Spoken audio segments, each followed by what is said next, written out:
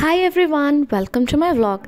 So today we are at Offbeat Donut Company. It is at city center and this cute little hidden space has the yummiest donuts to offer that we have tasted so far in Cork and they have an amazing selection of donuts and you can try them like crazy they make all the donuts fresh right in the bakery you can see them making the donuts and you can customize your order and also order for bulk. You can query in the counter and they have super amazing combos for you for takeaways as well. They don't have space to eat so you might have to make it a takeaway.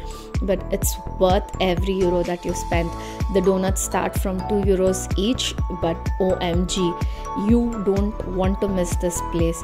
So please do try and leave your feedback and let us know how you felt about this place. And do stay tuned for more. And follow us. Don't